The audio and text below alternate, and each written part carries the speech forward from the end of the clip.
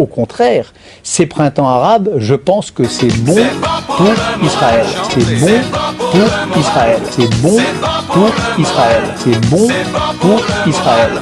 C'est bon, bon.